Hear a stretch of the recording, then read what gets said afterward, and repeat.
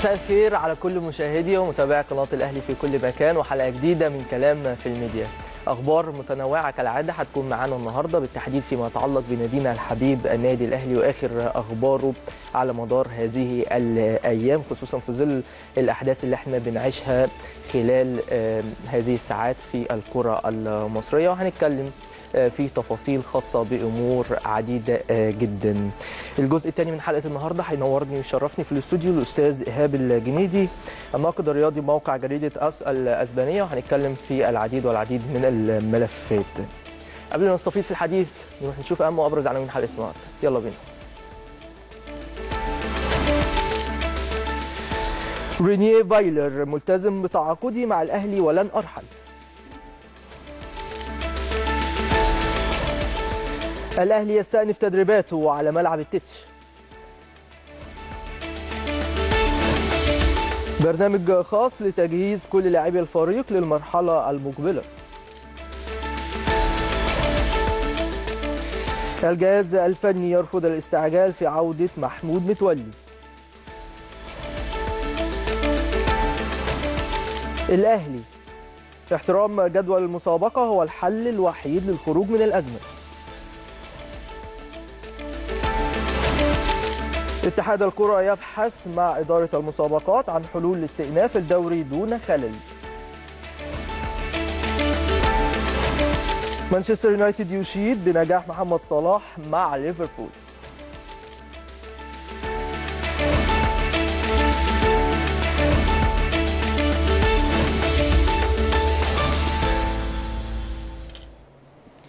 إيه الجديد؟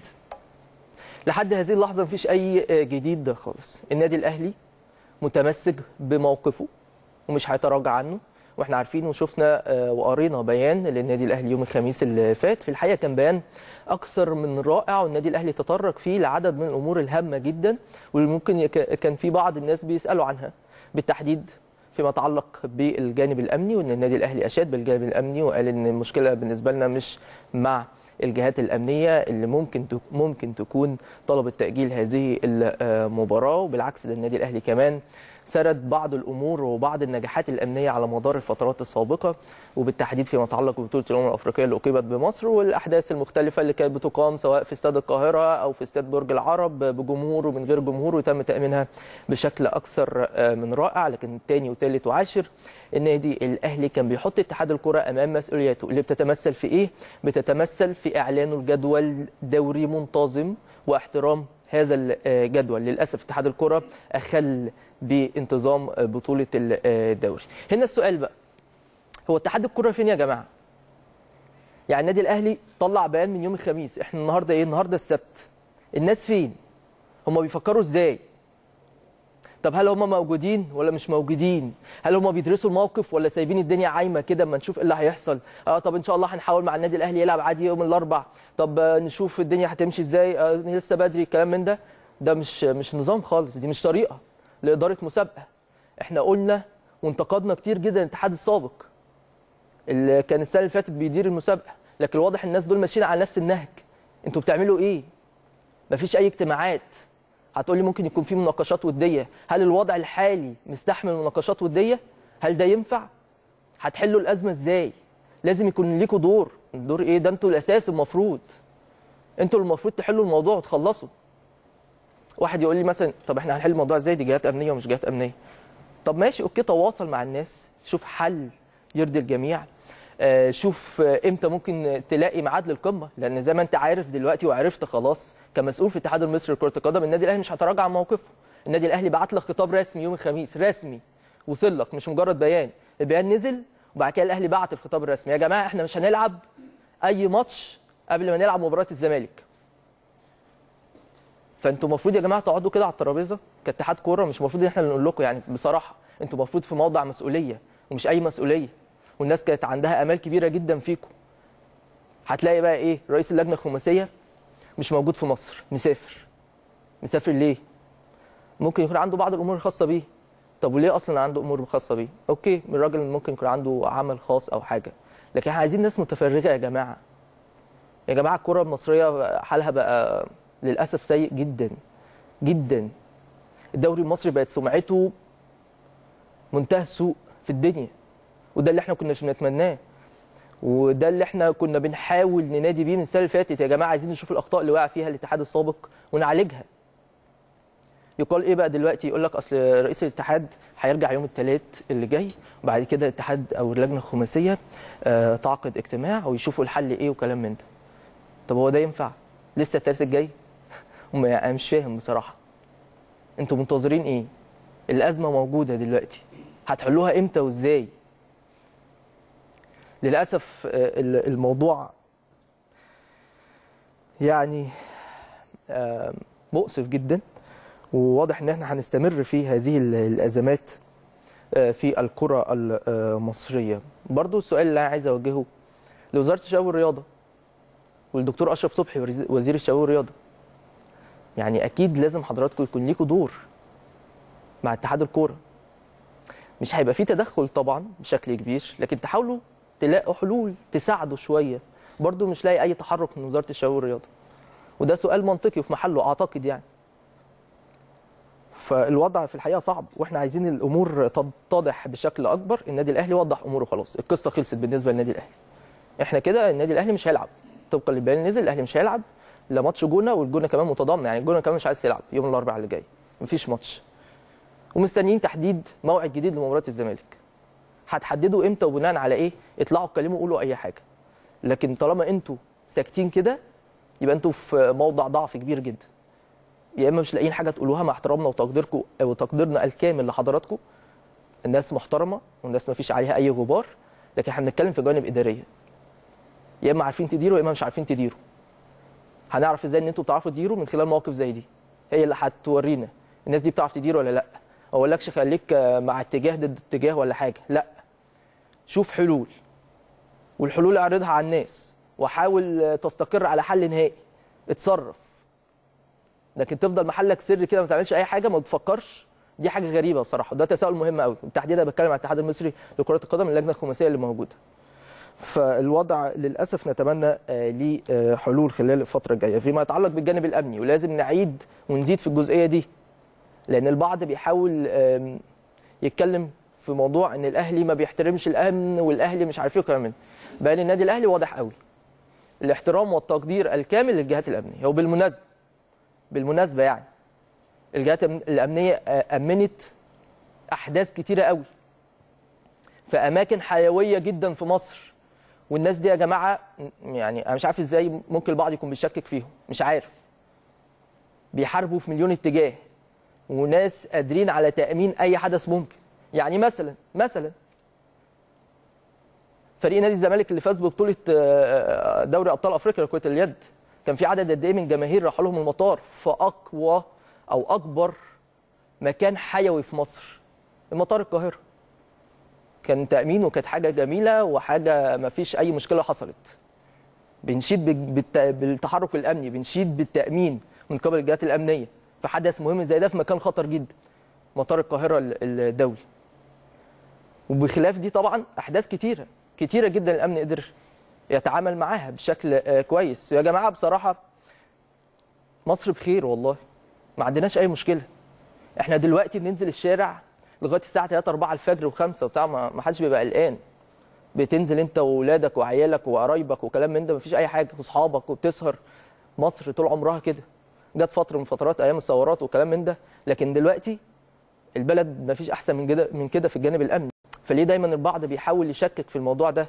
النادي الأهلي أكد على احترامه كامل للأمن لكن بيطلب إيه في نفس الوقت؟ حددوا لنا يا جماعة بيطلب من اتحاد الكورة. حددوا لنا ميعاد جديد لمباراة القمة بالتنسيق مع الجانب الأمني. وقت ما تحددوا الميعاد طبقا طبقا للارتباطات الأفريقية للناديين. ودي موجودة في آخر سطر تقريبا في في بيان النادي الأهلي يوم الخميس اللي فات. حددوا وإحنا معاكم ما عندناش مشكلة بس هنبتدي ماتش الزمالك. إحنا بنحترم ال- الجدول المسابقة. إحنا بنحترم الكرة المصرية. إحنا بنساعد بنساعد على إن يكون في تكافؤ للفرص. بعد الموسم الكارثي اللي شفناه الموسم الماضي. مش عايزين تكرار ليه. إذا النادي الأهلي هو الوحيد دلوقتي ومعاه بعض الأندية اللي نفسهم في الكلام ده واللي بيحاولوا في هذا الاتجاه. البعض الآخر ودي حقيقة والله بجد وأكيد حضراتكم متابعين وشايفين. البعض الآخر بيشوف الأهلي هياخد قرار إيه وأعمل عكسه. عشان مجرد إيه؟ أنا ضد الأهلي أنا أثبت إن أنا أقوى وكلام من ده. أنت كده ما بتتحملش مسؤولية. أنت كده مش بتراعي مصلحه مصلحة الكرة المصرية. بدليل إن البعض خد قرارات وغيرها بمجرد ما النادي الأهلي نزل بيانه. لمجرد إيه؟ لمجرد إنه يبقى عكس النادي الأهلي. مش كتفكير في مصلحة الكورة. الوحيد اللي بيفكر في مصلحة الكره المصرية هو النادي الأهلي. أتمنى أتمنى الاتحاد المصري لكرة القدم يساعد النادي الأهلي. المفروض إن طبيعي الأندية اللي تساعد الاتحاد بس الواضح إن الاتحاد مش عارف يتصرف. الاتحاد للأسف الشديد ضعيف من الآخر. كنا نتمنى الاتحاد قوي اللي يجي. رغم إن هو مؤقت يعني. بس على الأقل ناس يسيبوا بصمة في تاريخ الكورة من خلال جدول مسابقة محترم ومنتظم وده اللي وعدوا بيه بالمناسبه إحنا ما نجيبش حاجة من عندنا. هم وعدوا قد كده. مداخلات تلفزيونية ولقاءات تلفزيونية وقرعة اتعملت وخلال القرعة قالوا وكلام من ده. امبارح شفت تصريحات الكابتن حسام حسن المدير الفني لنادي سموحة تصريحات الكابتن أحمد حسام ميدو المدير الفني لنادي مصر المقصه بعد المباريات اللي اتلعبت امبارح في الدوري واللي انتقدوا فيها بشكل كبير جدا تصرفات الأمن. وبالتحديد أحمد حسام ميدو ده اللي استوقفني يعني في الحقيقة من خلال تصريحه اللي قال إيه؟ قال إحنا كان في لينا ماتش هيتلعب الساعة 2:30 الظهر وطلبنا من من الاتحاد إن هو يأجل لنا الماتش شوية حلفوا له على المصحف زي ما هو بيقول إن مش هيحصل أي تأجيلات. فالراجل بناء على كلامه بيقول أنا خلاص ما مش طبعا مش هيبقى في أي تأجيلات أنا بحترم كل الجدول وبحترم المباريات ومواعيدها لكن هو فوجئ بتأجيل مباراة القمة. فللأسف إحنا هنستمر في هذه الأحداث السيئة والمؤسفة اللي بشانها بتدمر الكرة في مصر. ما ببالغش والله. الكرة كده في مصر بتتدمر. سنة بعد سنة هنفضل في نفس المشاكل والأزمات في الوقت اللي إحنا المفروض بنتكلم فيه عن مباريات ومباريات قمة أهلي وزمالك ونحلل ونتكلم ونتواصل مع الناس وكلام من ده. لا بنتكلم في أزمات كالعادة في مصر هنا فيما يتعلق بالرياضة فيما يتعلق بكرة القدم ما بنتكلمش غير في أزمات. لكن تطوير الكورة لا ما بنتكلمش فيه. جوانب فنية ما بنلحقش نتكلم فيها للأسف بسبب كل هذه الأمور اللي بتحدث على الساحة الرياضية المصرية. نتمنى إن اتحاد الكورة يفوق كده معانا شوية ويصحصح تمام؟ ويجتمع ويلاقي حل. لازم. متأخرين قوي بصراحة. قوي هنشوف. الأمور هتستقر على إيه في النهاية. لكن في كل الأحوال عشان تاكيدا للناس والجمهور النادي الأهلي الاهلي يا جماعة متمسك ببيانه. ده شيء مفروغ منه. في المقابل الفريق بيستأنف تدريباته النهارده. استعدادا لإيه؟ استعدادا برضه لمباراة القمة. في أقرب وقت ممكن لما يتحدد ماتش القمة الأهلي بيستعد لهذه المباراة. ما بيستعدش لأي حاجة ثانية ما جاتش ما جاتش مباراة القمة هتستعد لأول مباراة ليك في أفريقيا اللي هي هتكون يوم تقريبا 29 من الشهر القادم شهر نوفمبر. مع النجم الساحلي هناك في تونس وبنسبة كبيرة هيكون في ملعب رادس يعني مش في سوسة. فهي دي استعدادات النادي الأهلي. امبارح كان اجازه للفريق مستر فايلر إدى اجازه للاعبين بعد ما خلاص الماتش اتأجل واستأنفوا تدريباتهم النهارده. من خلال مران كان في تمام الساعة الخامسة مساء وتدريبات أكيد فيها بعض الفقرات البدنية بعض الفقرات الفنية. والله يكون في عون الجهاز الفني بصراحة. لأن الأمور اتلخبطت قدامه. بيستعد لحاجة معينة الحاجة دي اتأجلت. دلوقتي هو ما مش عارف الماتشات الجاية هتكون للنادي الأهلي إمتى في انتظار اتحاد الكره الموقر إن هو يجتمع ويشوف قراراته إيه ونشوف الدنيا هتمشي إزاي. عشان نقرب من المشهد بشكل أكبر خلينا نروح سريعا لزميلنا العزيز فاروق صلاح مراسل قناة الأهلي واللي كان متواجد في مران الفريق النهارده. يا فاروق مساء الخير عليك. مساء الخير عليك يا أمير وعلى كل مشاهدي ومتابعي شاشة قناه النادي الاهلي في كل مكان ومتابعي برنامجك الموفق والمميز دايما يا أمير وبارك لك من خلال قناة النادي الأهلي على الجائزة اللي حصلت عليها. الله يبارك فيك يا فاروق ربنا يخليك ودي جائزة في الآخر بتحسب للنادي الأهلي بكل تأكيد أو عفوا يعني كمان بجانب النادي الأهلي قناة النادي اللي ليها فضل بالتأكيد عليا يعني. خلينا أتكلم معاك يا فاروق فيما يتعلق بمران الفريق النهارده والجوانب الخاصة بالتدريبات والأمور ماشية إزاي عندك قول لنا كل الكواليس. أه خليني أقول لك يا أمير إن المران انطلق في الساعة الرابعة. طبعا النادي الأهلي بيستهدف النهارده تدريباته ومرانه بعد العودة من راحة الأمس. أه الفريق ابتدى المران في تمام الساعة الرابعة. مستر ريني ريني فايلر في منتصف الملعب طبعا. آه، خمس دقائق آه، توجيه وبعض الأمور للاعبين اجتمع باللاعبين في منتصف ال- الملعب. ثم كان في اجتماع ما بين الكابتن سيد عبد الحفيظ وحديث مع مستر ريني فايلر ثم انطلق المران اللي تقدر تقول المران طغى عليه النهارده أمير الجانب البدني. فريق آه، راجع من فتره عايد من فترة آه، راحة. فكل الأمور البدنية كان النهارده الشغل كله على الجانب ال- البدني في آه، الملعب آه، مع مستر آه، توماس. مستر آه، ميشيل آه، كان معاه ثلاثي حراسة المرمى شناوي وشريف إكرامي وعلي لطفي. آه، جوانب بدنية وبعض ال- الأمور البدنية كان شغال عليها مستر آه، توماس مع آه، جزء منها أمير بيكون من خلال آه، بدون كرة أو بال- بالكرة. أجل طبعا تجهيز الفريق واللاعبين للاستئناف المرحلة القادمة والمشوار القادم للنادي الأهلي. خليني أطمنك أيضا أمير على حالة المصابين. النهارده كان كريم ندفد نقدر نقول بدأ بعملية بالجري حول الملعب آه، ومعاه مروان محسن ومحمود آه، متولي. مستر آه، طمنا على كريم.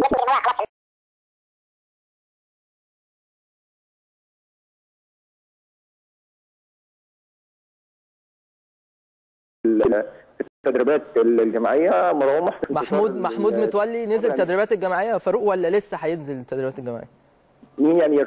محمود متولي. لا محمود خلال ال- الأيام القادمة هيكون موجود إن شاء الله في التدريبات الجماعيه مع مع الفريق. اللي هو آه، محمود متولي خلاص في المرحلة الأخيرة من التجهيز ومرحلة التأهيل الخاصة بمحمود متولي. خلال الأيام القادمة إن شاء الله هيكون موجود مع الفريق في التدريبات الجماعية وإن شاء الله يكون موجود مع الفريق في مشواره القادم سواء في الدوري في البطولة الإفريقية بمشيئة الله أمير.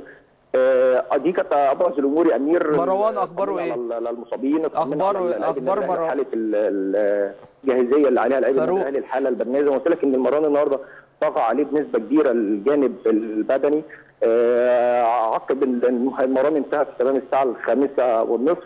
مستر ريني فايلر اجتمع مع اللاعبين. أيضا عقب نهاية المران كان في جلسة جمعت ما بين مستر ريني فايلر واللاعبين جميعا في آه، أرض الملعب. عقب انتهاء الجانب ال- البدني مع مستر آه، توماس. اجتمع مع اللاعبين.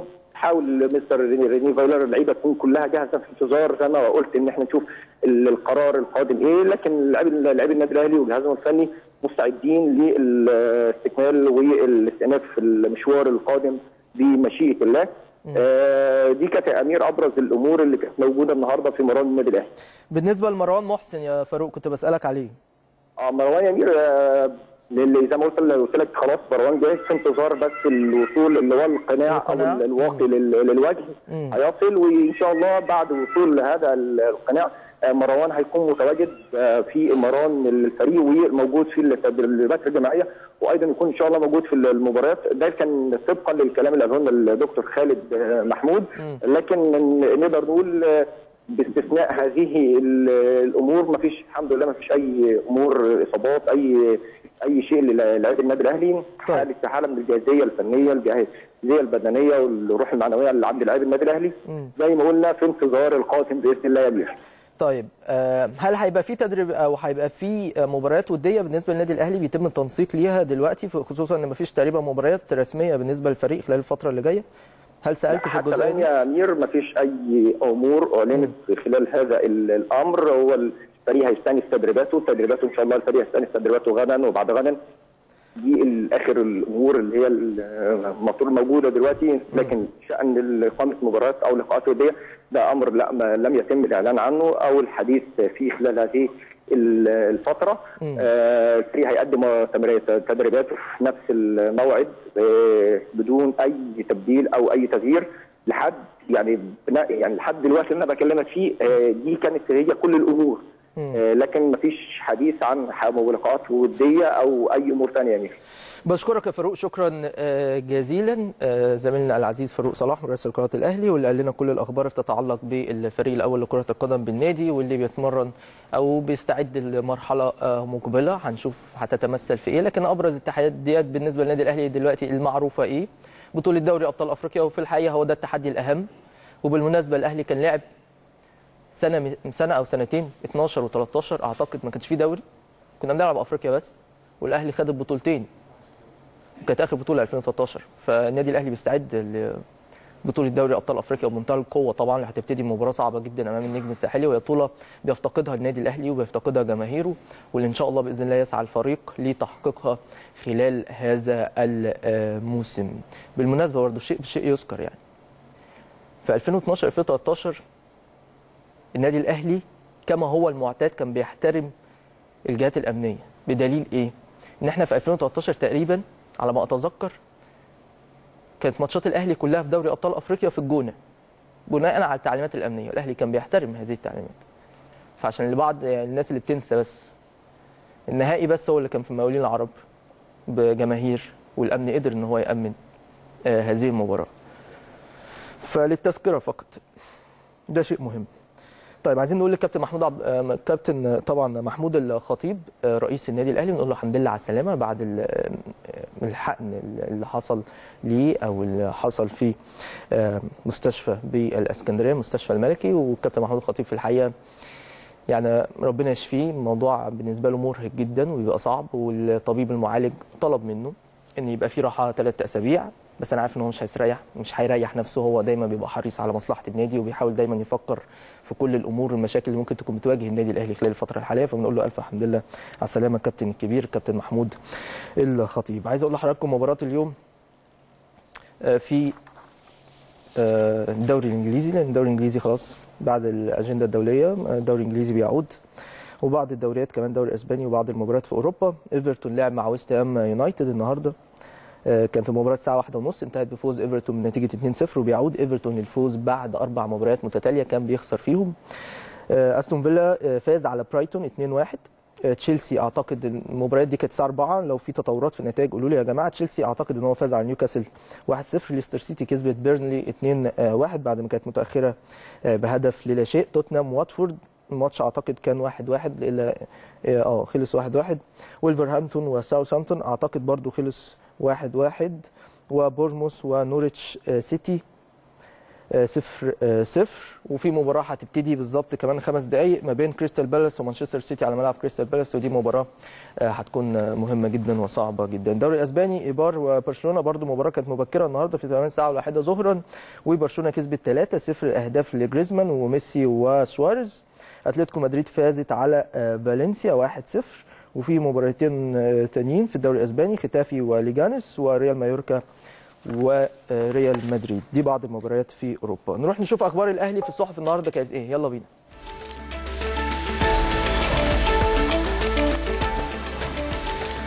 الأهرام. السويسري رينيه بايلر ملتزم بتعاقدي مع الأهلي ولن أرحل مهما تكن العروض. المدير الفني ليس معقولا أن أغادر مكانا بعد ستة أسابيع فقط. أخبار اليوم. مؤكدا تمسكه بموقفه الأهلي. احترام جدول المسابقة هو الحل للخروج من الأزمة. قرارات مجلس الإدارة جاءت بعد مناقشة طويلة والخطيب يعود بعد جراحة جديدة. الجمهورية. لقاء الجونة مرفوض. الأهلي يعيد الشعار لا تراجع ولا استسلام الشروق. طالبه بإخراج مواجهة الجونة من حساباته. الأهلي يخطر فايلر باستمرار الاستعداد للقمة. مصدر لماذا نسافر للجونة فمباراتنا المقبلة ستكون أمام الزمالك والخطيب بحاجة للراحة ثلاث أسابيع بعد خضوعه للحقن في الظهر. المصري اليوم الأهلي واصل التصعيد ضد اتحاد الكرة. إدارة النادي تلغي حجز السفر إلى الجونة ومطالبة الجنايني بتفعيل تصريحاته حول تكافؤ الفرص في مسابقة الدوري. الوطن. وساطات وضغوط على مجلس إدارة الأهلي للخروج من أزمة مقاطعة الدوري. النادي يتمسك بمطالبه. عبد الحفيظ ينفي وصول عروض إنجازية للشناوي وبايلر يحذر من الالتحامات في التدريبات وحسين السيد يشدد على الرحيل. اليوم السابع. الأهلي يدرس إقامة جولة كروية عربية خلال توقف الدوري. الفريق يستأنف تدريباته اليوم. الخطيب يظهر في النادي بعد جراحة حقن الفقرات والجذور العصبية. والنادي تلقى عدة عروض واختيارات المنتخب تحدد موقفه. الاخبار المسائي فايلر يحذر اللاعبين. المدير الفني للأهلي يؤمن نفسه ويجهز المصابين خوفا من الطوارئ المسا احتراف الشناوي مجرد كلام. الأهلي لم يتلقى أي عروض ويطالب الحارس بالتركيز مع الفريق.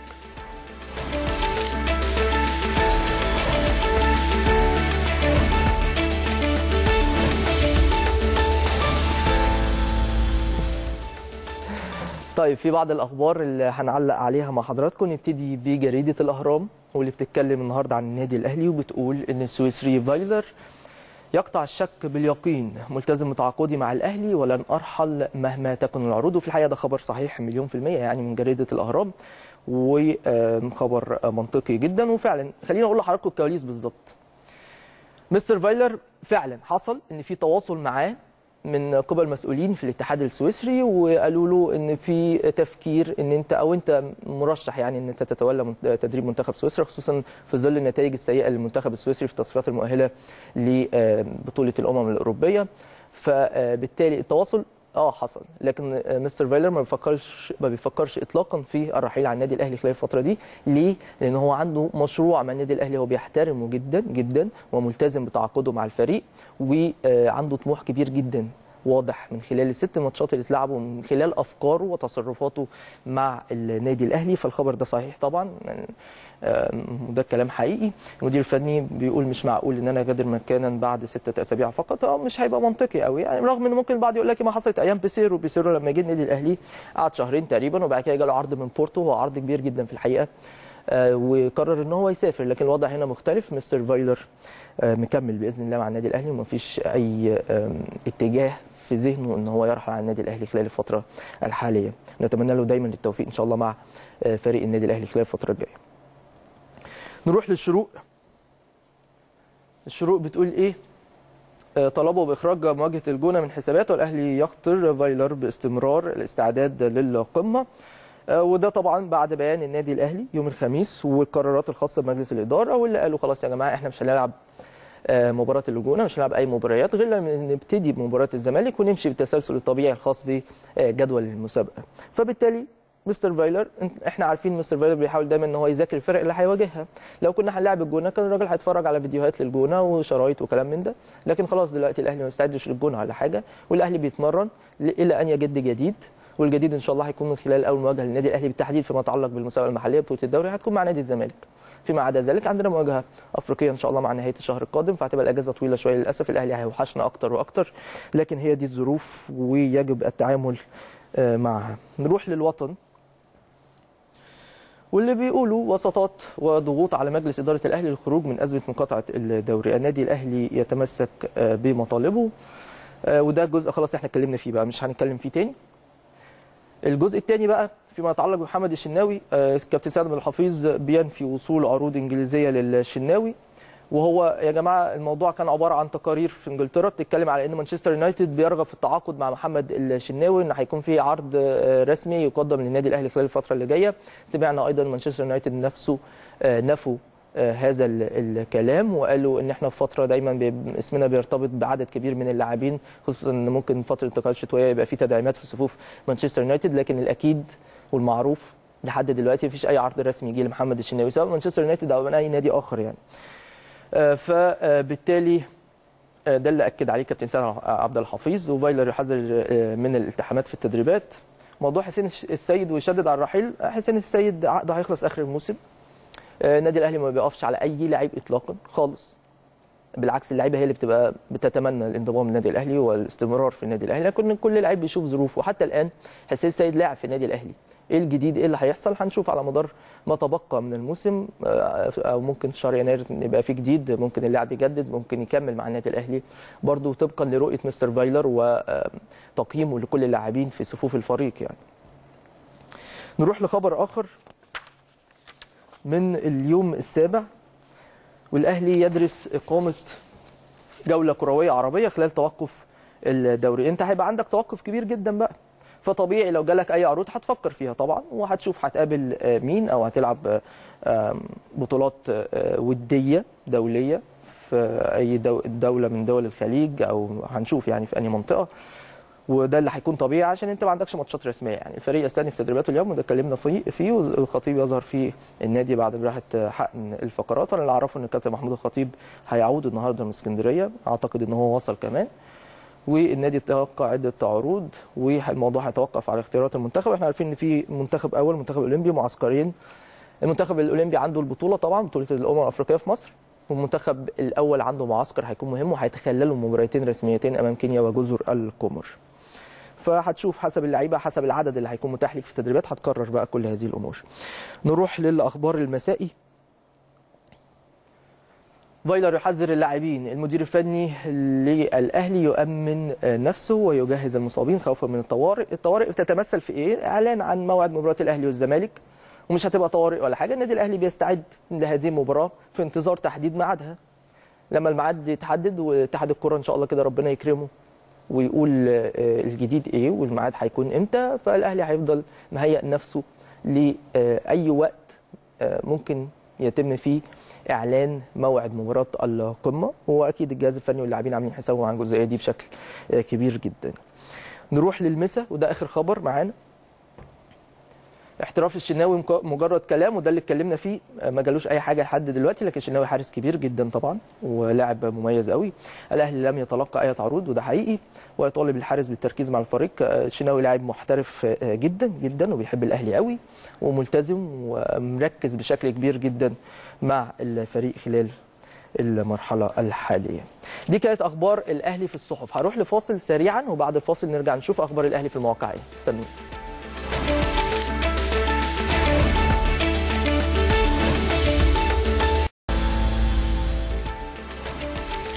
نشوف أخبار الأهلي في المواقع. يلا.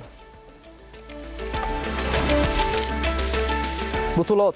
الأهلي يخوض تدريباته استعدادا للمرحلة المقبلة. سوبر كوره الأهلي ينتظر عودة الخطيب لتجديد عقود إكرامي وعاشور وفتحي وسليمان.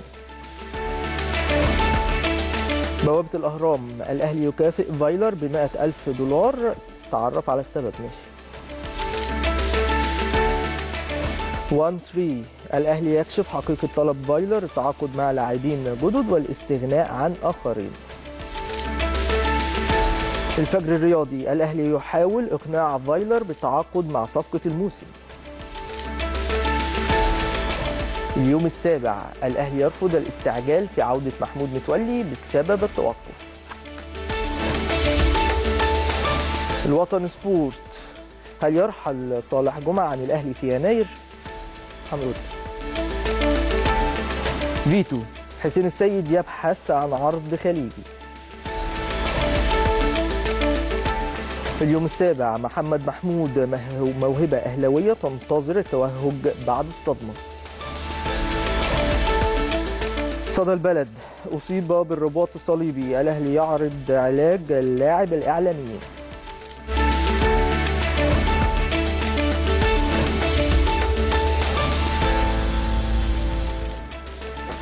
نبتدي بسوبر كورة واللي بتقول إن الأهلي ينتظر عودة الخطيب لتجديد عقود إكرامي وعاشور وفتحي وسليمان. وإحنا عارفين إن الرباعي ده عقده هيخلص مع نهاية الموسم.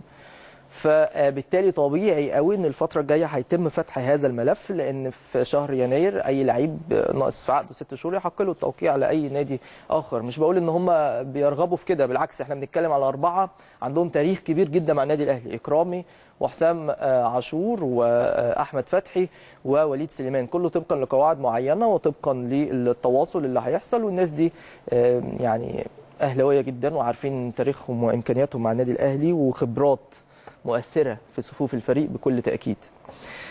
فأكيد الفترة الجاية هيتم فتح هذا الملف يعني. نروح ببوابة الأهرام واللي بتقول إن الأهلي يكافئ فايلر ب ألف دولار. وده بسبب يعني الفوز بالسوبر وطبقا لعقد الراجل. مش عارف مش عايز أقول المبلغ بالظبط المبلغ ده حقيقي ولا لأ. النادي الأهلي ما أعلنش بشكل رسمي. لكن أكيد طبقا للعقد لو هو فاز بالسوبر مثلا أو بأي بطولة معينة فبيبقى ليه مكافآت. حسب بقى النسبة اللي يحددها النادي الأهلي بالطبع يعني. نروح ل 1 3 وبتقول إن الأهلي يكشف حقيقة طلب فايلر التعاقد مع لاعبين جدد للاستغناء عن آخرين وإحنا اتكلمنا في الموضوع ده كتير قوي. وزيادة في التأكيد مستر فايلر لسه ما طلبش لا لاعبين جدد ولا طلب الاستغناء عن بعض اللاعبين الموجودين في صفوف النادي الأهلي لأن لسه الفترة الحالية بتتكلم في بعض المباريات اللي ممكن تتلعب في البطوله المحليه وعندك مباريات في البطوله الافريقيه فلسه التوقيت مش دلوقتي خالص. هيبقى في دراسة للاعبين بشكل كبير جدا لكل القائمه وتحديد احتياجات الفريق طبقا لرغبة مستر فايلر. هو اللي هيحدد أنهي مكان عايز فيه تدعيم أنهي مركز. فكل الأمور دي لسه شوية عليها ولما هيبقى في حاجات جديدة هنقولها لحضراتكم بكل تأكيد لأن ده آه، دورنا إن إحنا دايما دايما نحاول نعرف جمهور النادي الأهلي بكل جديد يخص النادي بشكل عام. نروح للفجر الرياضي. والخبر ده في الحقيقة بالنسبة لي مهم لأن بيقول لك إيه؟ بيقول لك الأهلي يحاول إقناع فايلر بالتعاقد مع صفقة الموسم. قصدهم يعني من الآخر كده على الكهرباء. وهي صفقة الموسم أو صفقة الموسم. طبعا هو لعيب كبير جدا. كهربا لعيب مميز ما فيش أي نادي ما يتمناش يبقى عنده كهربا. ده شيء طبيعي. لكن دايما في سيستم في النادي الأهلي معروف. لا بيحاول إقناع آه، مدرب بلعيب معين ولا الكلام ده خالص. أي كلام من هذا القبيل مش موجود في النادي الأهلي. لكن ممكن المدير الفني مش بتكلم بقى على اسم لعيب محدد بس المدير الفني ممكن يكون بيشوف طبقا لاحتياجاته فيديوهات لبعض اللاعبين. بناء على تقييمه لهذه الفيديوهات المبدئية يعني هيقول okay يا جماعة هاتوا لي اللعيب ده أو ما تجيبوليش اللعيب ده. هو الراجل هو اللي هيحدد ده الطبيعي في النادي الأهلي. لكن حتة إن الأهلي أو المجلس أو المسؤولين عن الكورة في النادي الأهلي يقنعوا مستر فايلر بلعيب معين ده صعب إن هو يحصل يعني. الراجل مقتنع بأي لعيب مش بتكلم على كهرباء بتكلم على أي لعيب بشكل عام. الأهلي هيوافق على طول على تلبية طلب فايلر. لما يقول هاتوا لي آه، اللعيب الفلاني هنحاول بقدر المستطاع أو المجلس هيحاول بقدر المستطاع إن هو يجيب له اللعيب اللي هو بيرغب فيه ايا كان مين هو اللاعب ده. نروح لليوم السابع.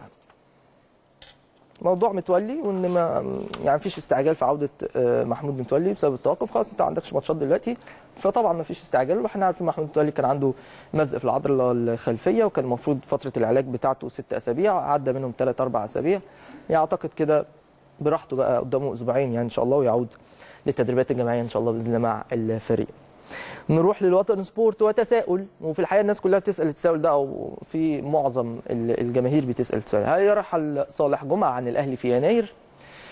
الموضوع يعني مش مش متاخد فيه قرار نهائي. وبالمناسبة يا جماعة موضوع إن صالح جمعة يمشي في يناير ده مش حاجة سهلة. صالح جمعة لعيب كبير جدا إمكانيات آه، كبيرة جدا جدا. فبالتالي مش سهل إن أي فريق أو بالتحديد النادي الأهلي يفكر إن صالح جمعة أو ياخد قرار بدري كده إن صالح جمعة يمشي في يناير. لا لسه فتره طويلة لحد يناير ثلاث شهور. صلاح جمعة بنسبة كبيرة بإذن الله بإذن الله هيكون آه، موجود الفترة الجاية مع النادي الأهلي في حسابات المدير الفني. هو دلوقتي في حسابات المدير الفني وبنسبة كبيرة هيتم الاستعانة بيه إن شاء الله يعني حسب برضه تقييم الراجل يعني.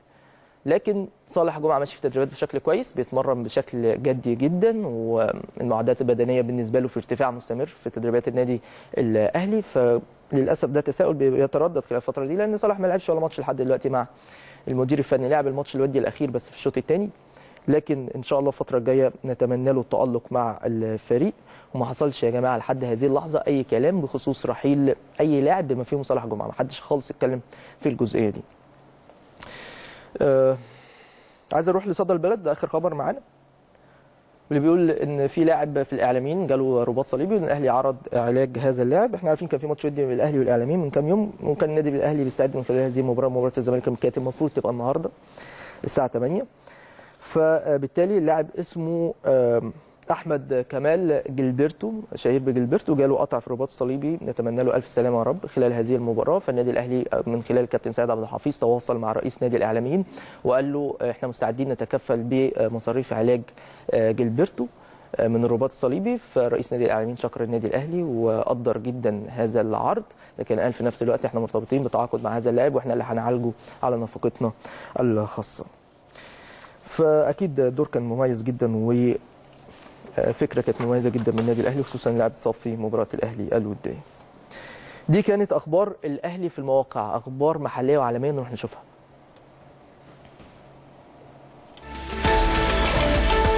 سوبر كورة اتحاد الكرة يبحث مع إدارة المسابقات عن حلول لاستئناف الدوري دون خلل.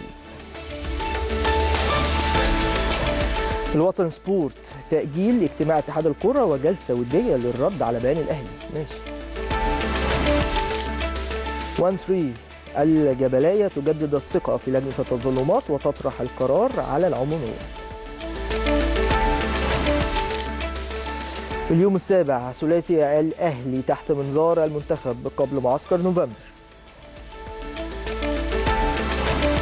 صدى البلد رسميا. الإصابة تنهي رحلة عمرو جمال مع المنتخب العسكري. فيتو. كوكا عن قلة أهدافه مع المنتخب. ما بلعبش أساسي وانتقادات اللاعبين داخل الملعب بتزعجني. الشروق مانشستر يونايتد. نجاح محمد صلاح مع ليفربول منقطع النظير. سبورت 360 كلوب. الجميع يريد سقوطنا أمام مانشستر يونايتد. في الجول تقرير ثورة أو ثورة الروسينيري ميلان يريد جوارديولا الموسم المقبل. موقع بطولات. تحديد موقف راكيتيتش وديمبلي من الانتقال لمانشستر يونايتد. يلا كورة. إبراهيموفيتش يثير التكهنات حول مستقبله مع لوس أنجلوس جالاكسي. كورة. موهوب ألمانيا يشعل الصراع بين برشلونة وسان جيرمان.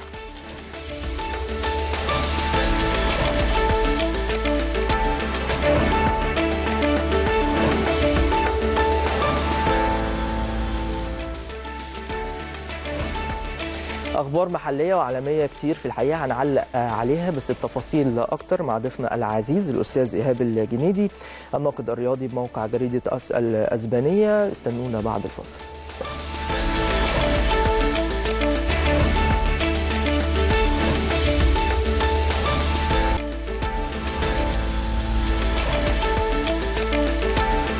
الاستاذ ايهاب الجنيدي الناقد الرياضي بموقع جريدة أس الأسبانية. ضيفنا في الفقرة الحوارية من حلقه كلام في الميديا النهارده. أستاذ إيهاب أهلا بيك. أهلا بيك وبكل جماهير النادي الأهلي وبهنيك يا أمير طبعا بالفوز الله يبارك فيك ربنا يخليك. أفضل مذيع. بشكرك. توفيق مستمر إن شاء الله. إن شاء الله بإذن الله. منورنا وشرفنا كالعادة وعايزين نتكلم في أمور مهمة جدا وكتير قوي.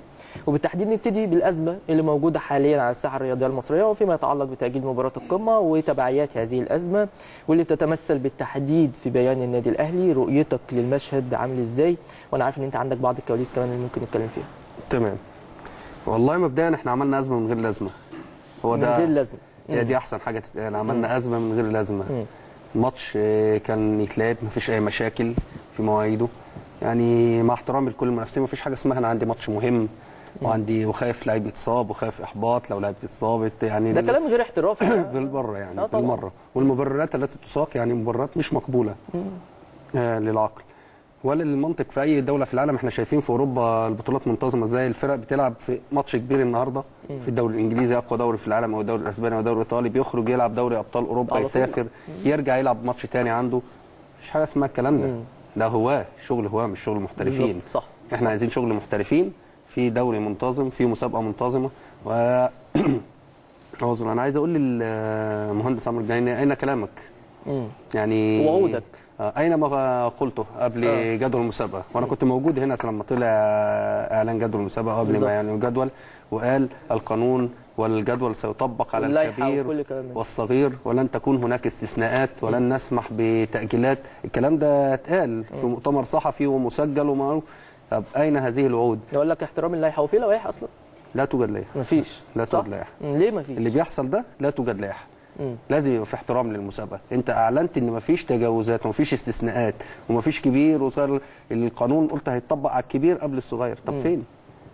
أنا أنا عايز مبرر واحد تقول لي لماذا تم تأجيل المباراة؟ هيقول لك آه، بناء على تعليمات امنيه طيب دواعي أمنية. ال- الكلمة دي كلمة مطاطة. بمعنى؟ كلمة شماعة كده يعني عايزين آه، أي فشل في المنظومة الاحترافية لكرة القدم في مصر مم. نيجي ن- نبحث عن حل. طب نجري عليه ونتواصل مع الجهات الأمنية اللي عايز أقول إن هي عايزة تتعاون. عشان البلد تمر بالظروف اللي هي طبعاً، فيها وعايزة طبعاً. الدنيا وعايزة الدنيا تعدي. أكيد. فأنا جاي لي مسؤولين أساسا بتوع اللعبة وعايزين يقولوا لي شوفوا لنا حل. أنا أنا تواص- توصلي يعني اعتقادي للموضوع إن هم تواصلوا مع الأمن. لا ده ده كلام مهم قوي ده. آه.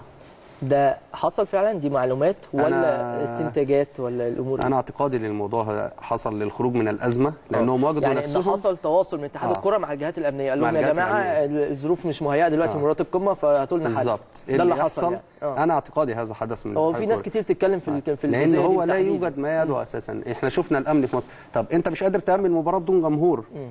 في مدان آه، مكان أنا عايز أقول أنا آسف إن أنا أقول مكان نائي مم. يعني استاد برج العرب إحنا رحنا وحضرنا ماتشات. كتير أنت بعيد عن العمران وبعيد بعيد عن عن, كل حاجة. كل أنت مكان في الصحراء بالظبط. استاد برج العرب في قلب الصحراء مم. ومنطقة عسكرية مؤمنة منطقه عسكرية بطريقة كبيرة استاد عسكري يعني. آه. إيه إيه اللي يدعو لتأجيل المباراة دواعي أمنية إزاي دواعي أمنية وأين كانت الدواعي الأمنية من كام يوم في حضور 5000 مشجع لنادي الزمالك لاستقبال فريق اليد بطل أفريقيا مثلا في آه، مطار إحنا القاهرة في.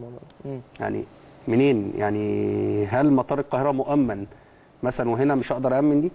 اللي هو المكان الحيوي. هو ايهم أيهم أكثر حيوية؟ مطار القاهرة طبعا. مطار القاهرة ولا. استاد برج العرب؟ مطار القاهرة. أيهم إن أنا خايف إن يحصل فيه حاجة. مم.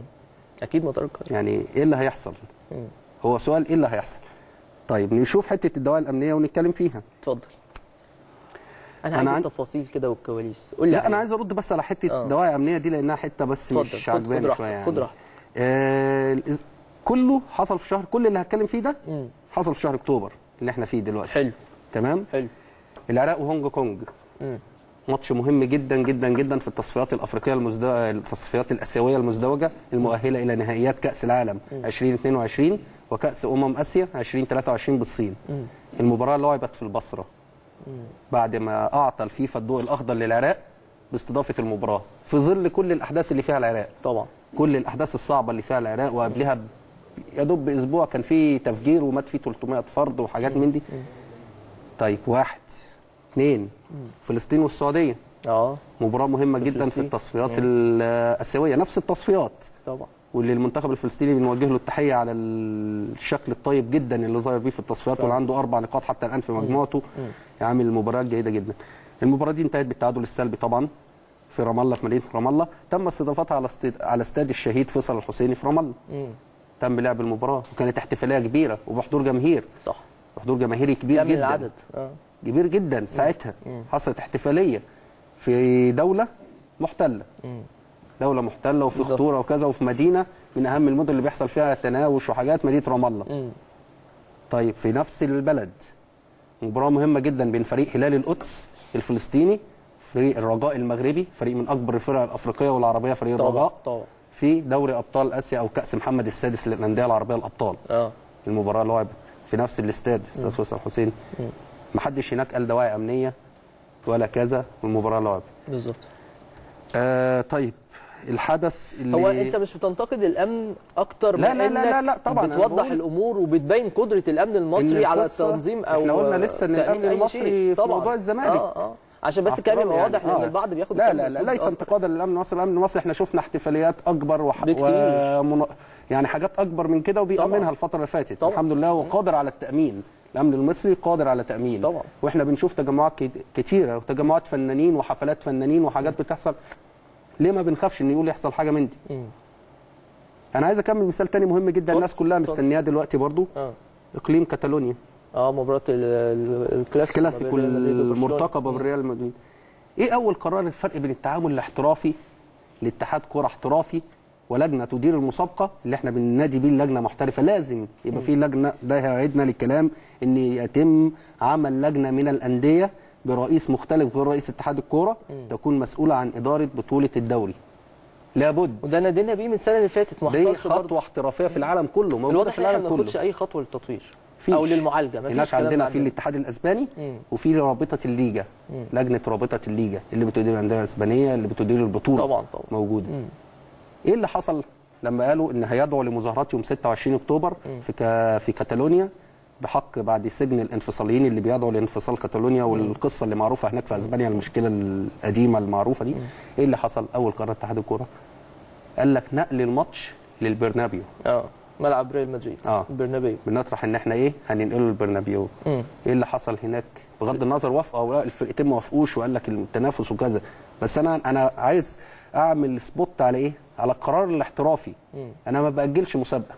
بالظبط. ما بوقفش ماتشات. أنا أول حاجة جماعة خلاص عملتها شوف كل واحد يحدد آه. الميعاد المناسب بالنسبة له وفي الآخر نستقر. كده نقعد مع بعض ونستقر. إنما أول حاجة عملها هو إيه؟ طرح كذا إن إحنا ننقلها البرنابيو أوجد حلول. شوف أنا عندي حلول كذا كذا كذا. موافقين عليها okay مش موافقين عليها يدوش كل على واحد طول. يعني مناقشة حضارية بشكل مميز الاتحاد عايز. يحافظ. على مسابقة منتظمة بالظبط رابطة ليجا عايزة تحافظ على انتظام المسابقة مم. هو ده اللي موجود في العالم كله شغل احترافي طبعا قلنا يا جدعان مش قادرين ننظم مسابقة نجيب حد ينظمها لنا. موجود في السعودية مش عيب على فكرة. يعني نفس الشركة اللي بتدير الاتحاد اللي بتدير الدوري الإنجليزي لكرة القدم اللي بتنظمه هي اللي بتنظم دلوقتي الدوري السعودي واللي شايفين انتظامه شايفين واحد من أقوى الدوريات العربية. حصل تطور فيه كبير. أنا مش قادر أدير هات حد يدير لي المسابقة وينظمها. أزيدك من الشعر بيت. اتفضل. فريق ليبيا فريق النصر الليبي. اللي موجود في الكونفدرالية الأفريقية. طالب يلعب فين؟ في مصر. فريق النصر الليبي طالب إنه يلعب ماتشاته. الماتش بتاعه في البطولة في طول 32 في مصر. قدام فريق آه، بورولين الأوغندي أو بورولين الأوغندي. طالب إنه يلعب هنا في مصر. مم. بلد الأمن والأمان. بلد طبيعي إن. أي حد يفكر إن هو يجي يلعب في مصر. ال- الفريق اللي معانا في مجموعة الأهلي هناك اتجاه إنه يلعب ماتشاته يلعب في هنا مصر. آه الهلال السوداني. آه. اذا العالم بيعترف إن أنت بلد الأمن والامان ال- الأشقاء حواليك والإخوة بيقولوا إن البلد عندك فيها أمان. أنت لازم. تساعد الدولة مش تعمل مشاكل للدولة. يعني أنا مش بتكلم على الجهات الأمنية أنا بتكلم عن الناس اللي هم تواصلوا مع الأمن طبقا للأخبار اللي يعني اللي بنسمعها خلال الساعات الحالية آه، عشان يأجلوا المباراة. مش بيسعوا المفروض هم العكس يسعوا إن المباراة تقام بشكل طبيعي يحاولوا كمان المباراة تبقى بجماهير لكن هم ما عملوش كده للأسف يعني. فأنت المفروض تساعد الدولة. إحنا عندنا بنختار أسهل الحلول. آه رايح دماغنا آه عايز يأجل؟ طب نأجل. فلان عايز يأجل فلان عايز برضه إحنا بنتكلم على اتحاد. الكوره يا جماعة عشان؟ ممكن البعض يقول لك إحنا بنتكلم على اتحاد الكوره مش. الجهات الامنيه اطلاقا. كل يا راجل الدوري السوري ينطلق غدا. الدوري السوري. عارف يعني إيه؟ رسميا الدوري السوري خلاص والماتشات ونزل الجدول ينطلق غدا. دولة فيها حرب ودولة تركيا ضربة فيها الشمال وهنا مضروبة في الجنوب والد- والدنيا جوه مفيش استقرار الدوري السوري ينطلق غدا. الدوري الفلسطيني الجولة الرابعة اللي هتتلعب. حتى الآن اتلعب ثلاث جولات. فريق شباب الخليل بيتصدر البطوله في سبع نقاط تعادل فوزين وتعادل. أدي كل الدول اللي فيها اللي ممكن نقول إن فيها قلق أو فيها عدم انتظام أو فيها مشاكل. منتظمه الكرة أو كرة القدم أو الرياضة بوجه عام عمرها ما هتكون حاجة إنها تعطل دولة. بالعكس ده أحد عوامل بناء الدول.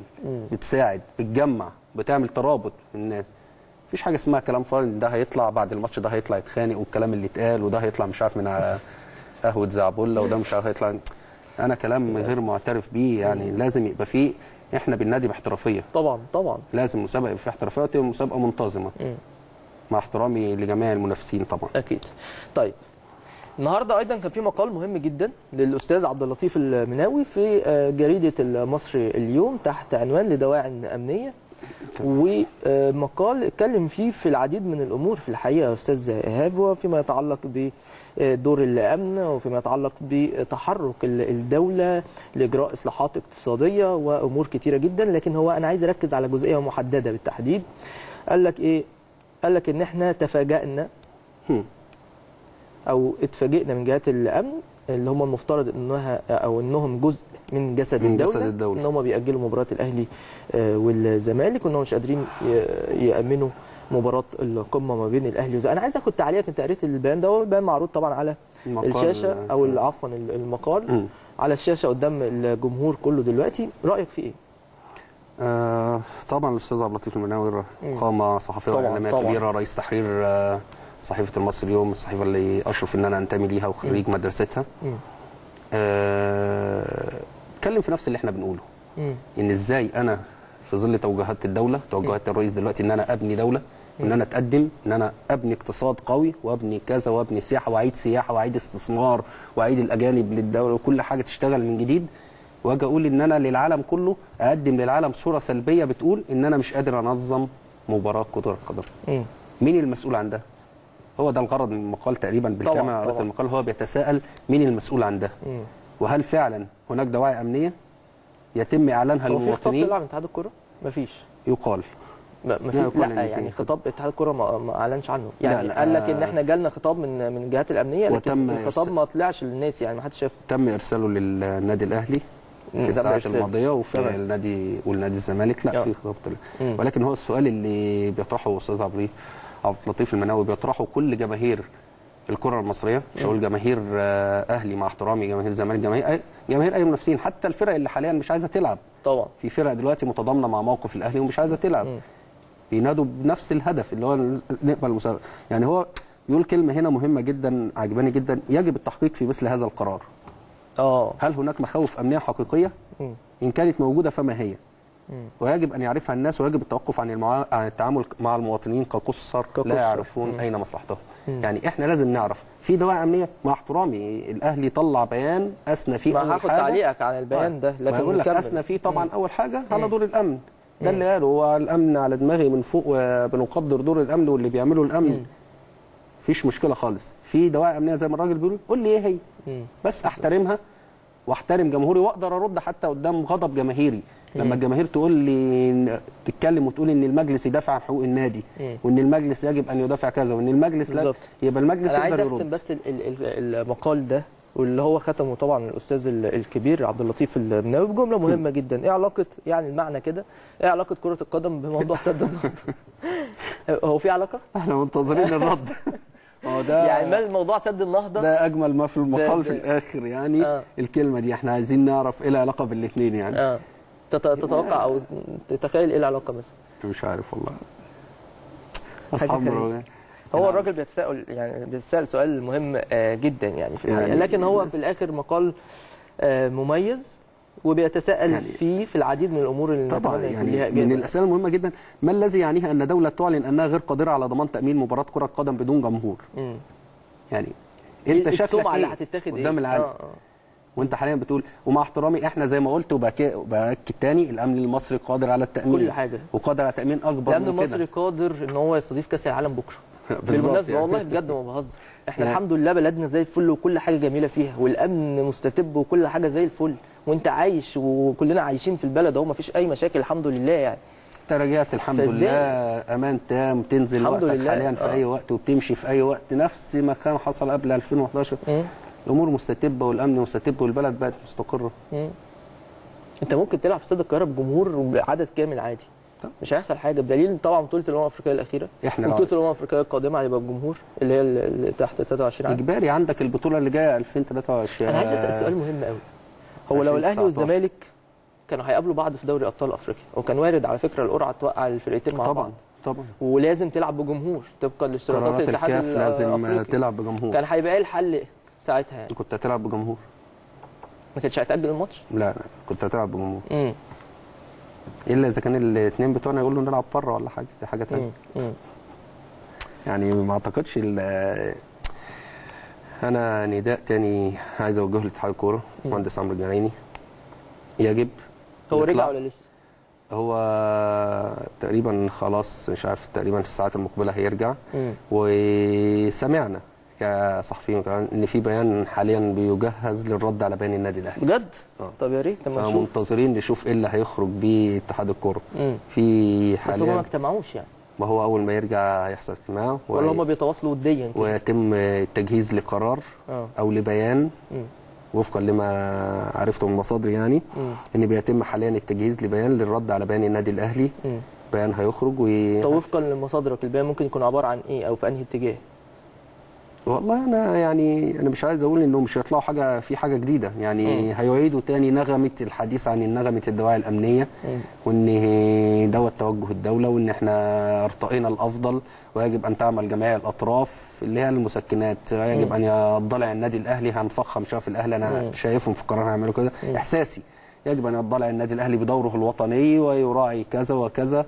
مم. وما يتم اللعب عليه في السنة اللي فاتت ونفس اللي اتقال ونفس اللي اتعمل بيتكرر تاني. هي. هي. لا أحد يتعلم من أخطائه. مم. نفس الأخطاء بتتكرر نفس أخطاء آه، مجلس هنا بوريده اللي اشتكينا منها واللي حصل السنة اللي فاتت في نهاية البطولة واللي برضو الأهلي برضو قبل كده اشترط حاجات وما حصلتش. وبعد كده في مجلس في الفترة القصيرة اللي قضاها ثروت سويلم نحن في مصر لا نتعلم. خالص. انت جبت مختصر. مفيد. آه. ولا نريد أن نصل بمسابقه احترافية. مش عايزين نعمل مسابقه احترافية. إحنا قادرين. نتكلم بس. إحنا قادرين إن إحنا نعمل آه. مسابقه احترافية. وإلا اطلع رد عليا على وعودك ليا قبل انطلاق الموسم ولكل الأندية إن أنت قلت لي إن أنا هعمل مسابقة منتظمة.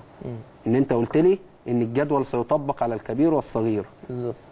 لن يحدث تجاوزات. مم. فين دوت يا باشمهندس عمرو؟ أنت وأعضاء لجنتك الموقرين. وتوسمنا فيكم خير وأشدنا بيكم في هذا المكان وإن ان شاء الله عايزين يعملوا شغل للكرة المصرية بالظبط اتكلمنا في الموضوع ده كتير ماشي. في الحقيقة يعني. إنما مع أول مطب صغير يعني هعيد تاني كلمتي أزمة من غير الازمه عملناها وأنت عامل عامل. قرعة غير موجهة ليه؟ طب خلاص كنت تخلي ماتش أهلي والزمالك برضه في آخر الدور الأول وآخر آه الدور الثاني بالظبط. وكنت خرجت. إيه الجديد اللي حصل؟ أنت وكنت إيه خرجت؟ من الإشكال ده. آه. يعني بالظبط يعني خ- خرجت من الإشكال ده والدنيا شفت له ميعاد كده مناسب. آه وخلاص. وخلاص وخرجت من الليلة دي. طيب عايز آخد تعقيبك على بيان الأهلي اللي كان يوم الخميس اللي فات أول امبارح. رأيك فيه إيه؟ والله بيان الأهلي بيان قوي جدا. مم. تم دراسته من جانب مجلس الإدارة. رئيس كابتن محمود الخطيب اللي, اللي بنتمنى له الشفاء العاجل إن شاء الله ألف آه، سلامه حاليا عليهم. أيقونة الكرة المصرية طبعا سواء رئيس النادي الأهلي أو غير رئيس النادي الأهلي في مكان تاني هو أيقونة الكرة المصرية أكيد أكيد أسطورة كبيرة. بخلاف انه رئيس النادي الأهلي طبعا يعني. البيان آه، شدد على حق النادي الأهلي وحق جماهيره في مسابقة منتظمة. في مبدأ العدالة في التنافس بيني وبين كل المنافسين إن أنا أخوض مبارياتي وفقا للجدول اللي أنا استلمته آه. من اتحاد الكورة لازم أخوض مبارياتي بالترتيب ده وفقا للبرنامج اللي أنا بعمله والتأهيل بتاعي وكل حاجة وتجهيزي للاعيبتي وال- لازم يبقى في انتظام مسابقه وده اللي الأهلي طلب الأهلي ما طلبش في حاجة غريبة يعني. الناس بتقول الأهلي البعض يقول لك دلوقتي في الشارع الأهلي مأفور الأهلي مش عارف يعمل كذا. الأهلي مش عامل أي حاجة. وقرار النادي الأهلي عايز أقول لك يلقى القبول والدعم والمساندة من السواد الأعظم من جماهير النادي الأهلي. دي حقيقة. حاليا. مم. صح. هم معاه ومع القرار. مم. وبيقولوا مع النادي الأهلي معاك يا أهلي. يعني إلى لو وصلت إننا مش هنلعب دوري. عادي إحنا خدنا أفريقيا مرتين بدون دوري. بالظبط. صح. 2012 و13 ولكن اعلن المبادئ واعلن احترامي لنفسي واحترامي لجمهوري واحترامي لجدول المسابقة أنت بعته لي طبقه عليا ومشيه. طيب سيناريوهات الخروج من الأزمة من وجهة نظرك؟ والله الأزمة صعبة أنت. أنت شايف إيه الخروج منها هي طبعا صعبة لكن إيه ممكن الحلول تبقى يعني؟ يعني إحنا عندنا الأزمة دي كبيرة دلوقتي. أزمة مشكلة اتحاد الكرة وضع نفسه فيها. أنا وفقا للي برضه بيتردد داخل الاتحاد بيقال إن هناك اقتراح دلوقتي إقامة المباراة يوم آه، 27 28 أكتوبر مم. بعد مواجهة الزمالك آه. الأفريقية جنريسيون لو فاز الزمالك نلعب المباراة تبقى الموضوع متاح جدا والموضوع سهل آه. آه. برضه سمك لو أنت هنا طب لو الزمالك خسر عنده؟ كونفدراليه نتمنى التوفيق طبعا لنادي الزمالك في آه، المباراة بتاعته. بس لو الزمالك خسر مم. هيبقى عنده في نفس الميعاد ده يوم الكونفدراليه 29 تقريبا آه مم. اللي هو الدور ال 32 تاني في الكونفدراليه هيبقى عنده طب هيعمل إيه؟ طيب ادي اقتراح يعني زي ما بيقولوا إيه اقتراح معلق في الهواء طب ما يطلعوا يقولوا يعني يعلنوا عن الاقتراح ده. ما يا ريت يطلعوا يا يتكلموا جماعة إحنا ممكن نلعب ماتش يوم 28 لو الزمالك آه، تأهل لدوري أبطال أفريقيا فالماتش يبقى بعد مباراة الزمالك وهنا باربع برضه لسه ما عرفناش موقف النادي الأهلي إيه. ولسه طبعا ما نعرفش الأهلي آه، هيبقى يعني دي؟ سيناريوهات. آه طبعا. في اقتراح إن المباراة تؤجل لما بعد بطولة أفريقيا. بعد اللي هي بتاعه المنتخب الاولمبي أفريقيا آه. المنتخب الاولمبي. اللي هتخلص آه، تقريبا الأسبوع الأخير من شهر آه، نوفمبر. بالظبط. تخلص يوم 22 آه. بالظبط يعني الأسبوع بس خلي. بالك انت تخلص يوم 22 البطولة دي وهو في تو- توقف آه، الدوري في مصر طب- وهتلعب أول مباراة للنادي الأهلي في أفريقيا مع النجم الساحلي يوم 29 تمام. ما هم بره مصر. هم عايزين يعملوها يوم آه، تقريبا في الدوري في يوم 24 و25 في ماتشات تقريبا. آه آه الأهلي المفروض طبقا للجدول عنده وادي الأهلي عنده دجله وادي دجلة والزمالك تقريبا بيراميدز. فهم عايزين يأجلوا ده وده. هنتفق طبعا مع ده وهنتفق التاجيلات اللي. وهنتفق مع ده. يعني خد بحر من التأجيلات طبعا. عندك. زي زي السنة اللي فاتت يعني عارف مفيش حاجة اتغيرت. عارف السنة اللي فاتت لما قالوا نأجل لما بعد بطولة أفريقيا؟ آه. ماتش كم حاليا ماتش كم إيه؟ نأجله لما بعد بطولة أفريقيا. المرة اللي فاتت كانت بطولة أفريقيا الكبار المرة دي الشباب. للأسف. الاختلاف الوحيد إن المرة دي بطولة أفريقيا المنتخبات الأولمبية. نأجل لما بعدها. تخبط وعشوائيه لما بعدها عشوائية. في اقتراح إن تاني برضو. آه لعب المباراة في التوقف الدولي. من غير لعيبة المنتخب الأولمبي. آه. وبيقول لك اللي بينادوا بالاقتراح ده بيقول لك إن إيه؟ إن هنا عندنا أربع لعيبة وهنا عندنا أربع لعيبة. العملية متساوية يعني.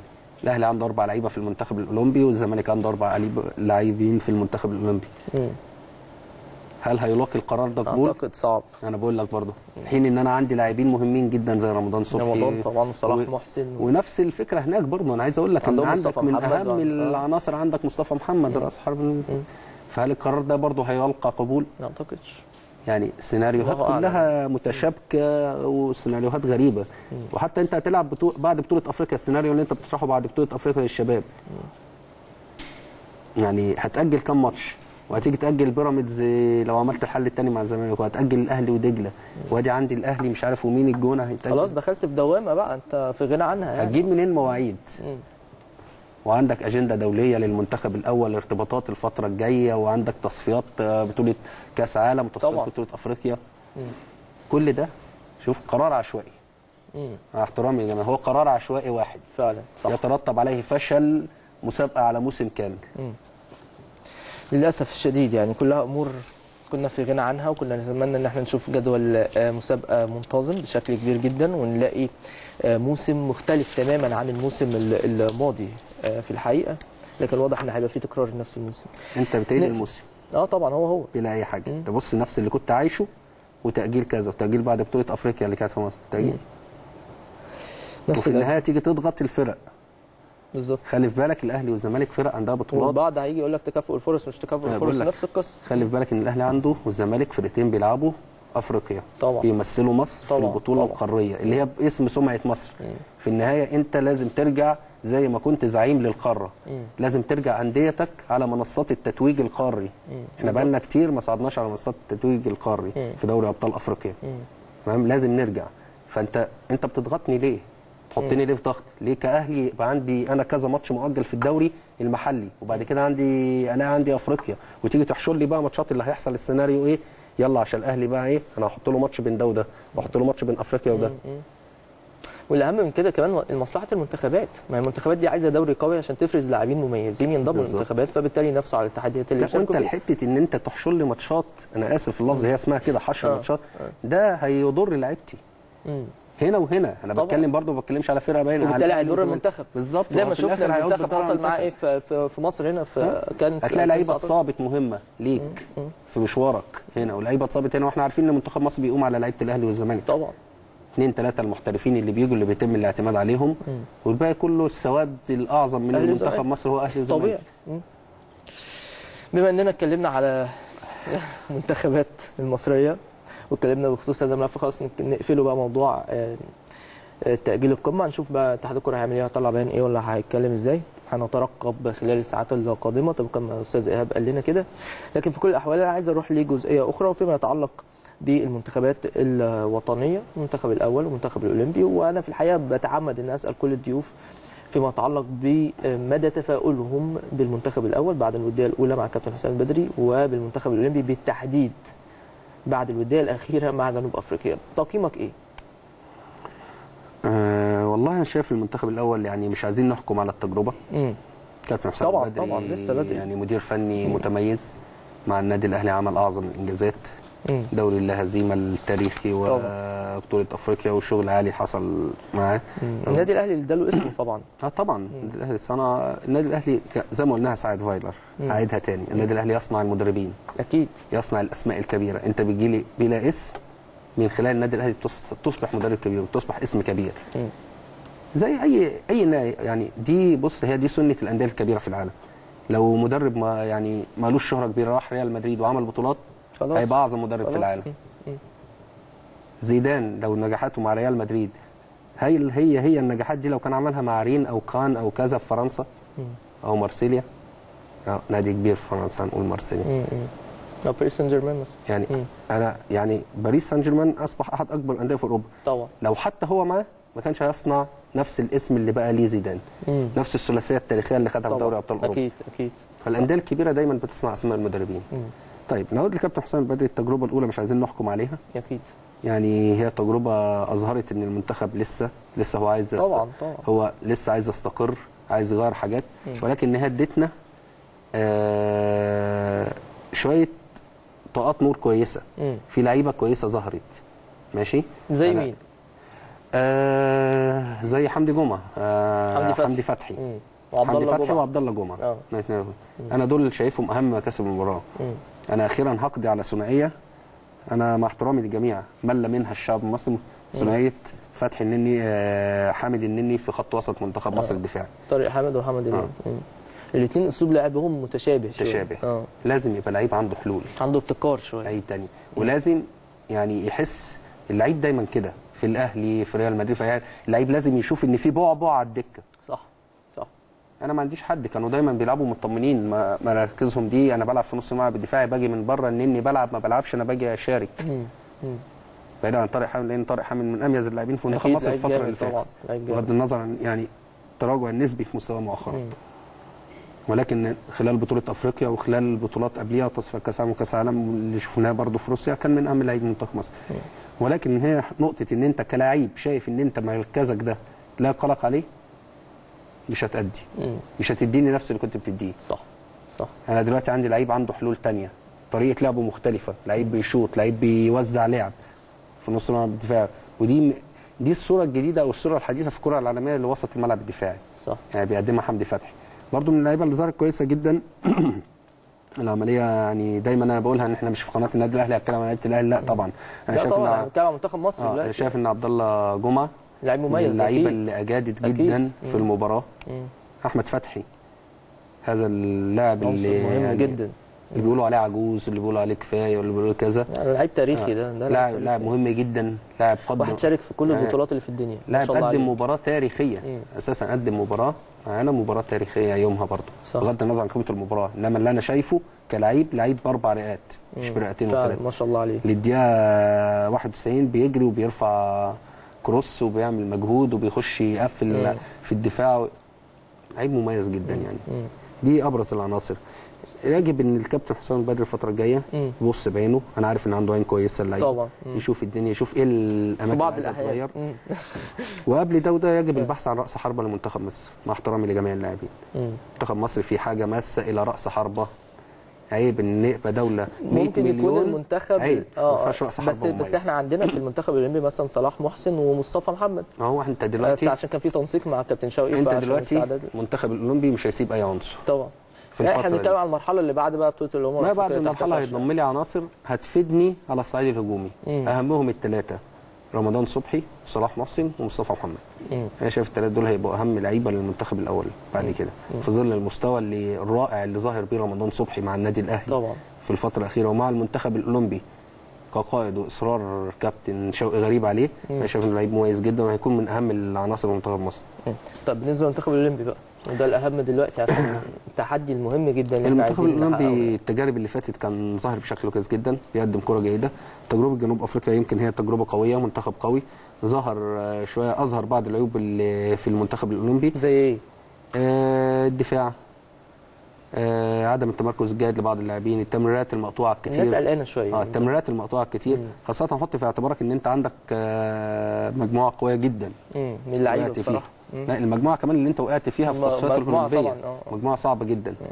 يجب إن إحنا نلم نفسنا بسرعة ما فيش وقت. يعني نشوف إيه المهم لو في حاجة عايزة تعالج لو في لعيب معين عايز أضمه. لأن إحنا سمعنا كلام إن ممكن محمد محمود كابتن شوقي غريب قال مهم جدا لوسط الملعب. أكيد. يعني قال ممكن لو لعب مع الأهلي وإحنا شفناه في الفترة اللي فاتت ماتش الإعلاميين وممكن يتم الدفع بيه تاني مع النادي الأهلي لو الأهلي. لعب. لو الأهلي لعب يعني إن. شاء الله. وبالتوفيق وبالتوفيق